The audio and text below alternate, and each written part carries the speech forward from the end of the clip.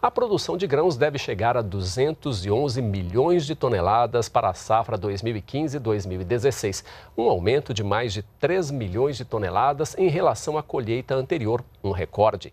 O destaque é mais uma vez para a produção de soja. A previsão é da Companhia Nacional de Abastecimento, a Conab. O estudo indica que a produção de soja teve o maior crescimento, com um aumento de mais de 6 milhões de toneladas. Uma safra estimada é de 102 milhões de toneladas. Sempre está havendo um incremento na qualidade das lavouras do Brasil. O padrão tecnológico sobe, a disponibilidade de crédito e políticas de apoio à comercialização se mantiveram por todo este ano. E o que ocorre é que as nossas lavouras, somadas com as questões climáticas, têm tido um desempenho muito favorável.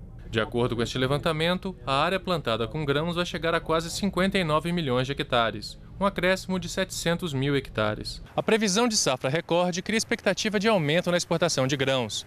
Essas vendas podem fazer uma grande diferença na economia em 2016. Essas conjunturas internacionais têm favorecido a exportação desses produtos brasileiros. Isso traz divisas e melhora o saldo da balança comercial.